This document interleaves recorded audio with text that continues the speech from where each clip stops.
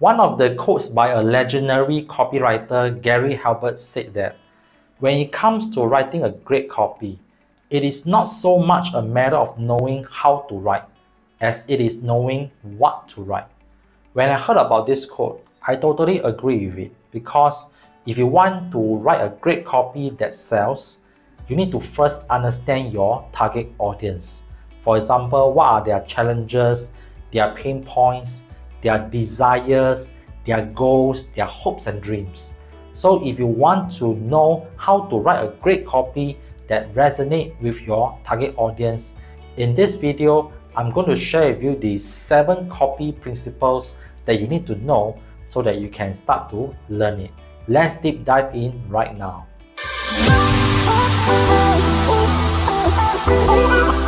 Copy principle number one is to start focusing on your prospects instead of your company.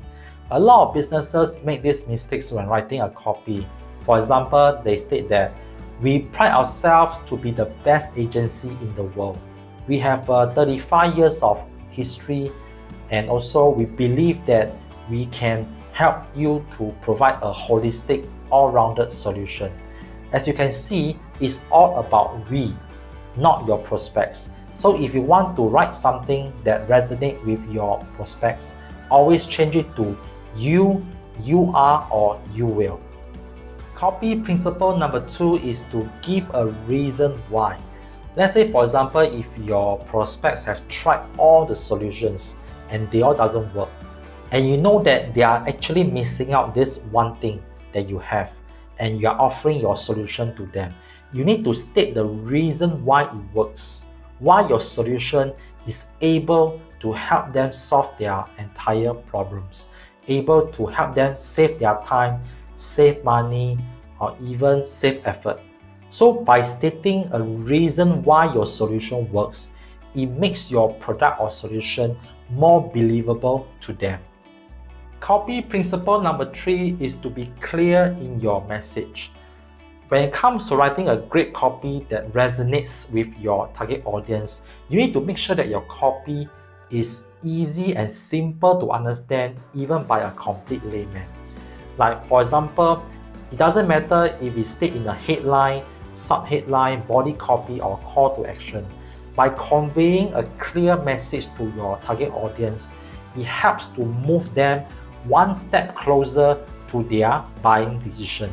And that is how you can write a great copy that resonates with your target audience. Copy principle number four is to identify your dominant emotions.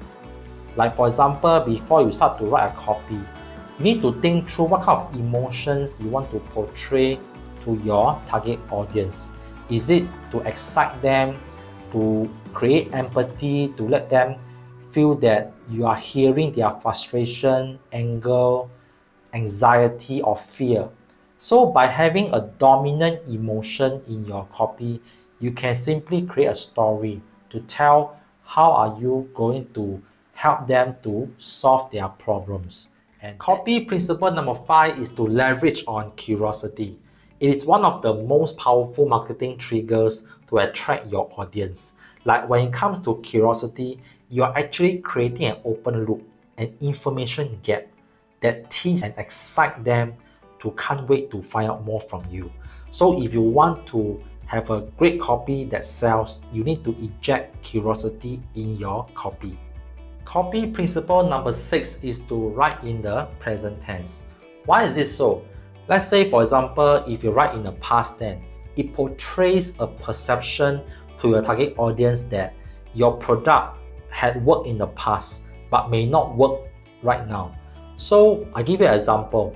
Let's say if you are selling a weight loss product and you are writing this copy as this product was used by a lot of people to lose weight as compared to a lot of people are using this product right now to lose weight.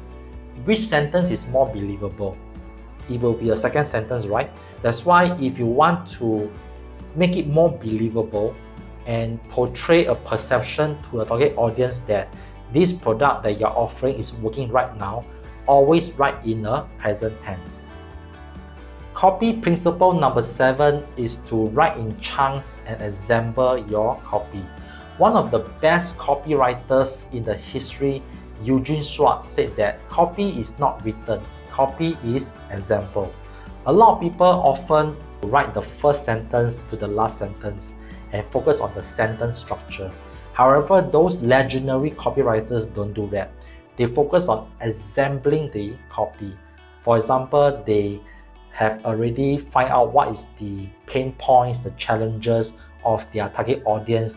They come up with the headline, the sub-headline, the benefits in bullet points, the offer, the guarantee inside the offer, the premium bonus, the lead, the story. So once you come out in different separate chunks, you start to assemble into your copy so that to see whether there's a sentence structure flow in it. And that is how to write a great copy that sells. Alright, I hope this video is useful for you to give you an idea of what are the copy principles that you need to know before you start to write a great copy.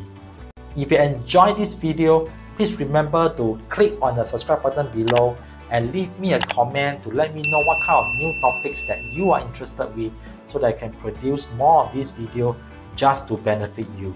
Well, that's all for now and I'll see you next time.